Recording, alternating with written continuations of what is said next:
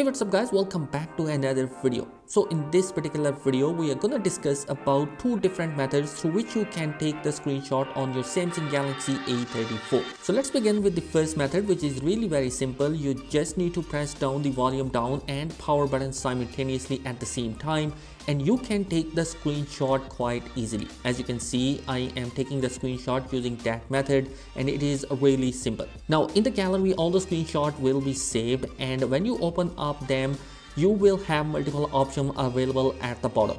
You can edit them, share them, delete them, or even you have the option to set them as your lock screen or home screen wallpaper. Now moving towards the second method, it is also really simple. You just need to swipe from left to right in order to take the screenshot. As you can see, I'm taking the screenshot with this method and it is quite easily very simple one.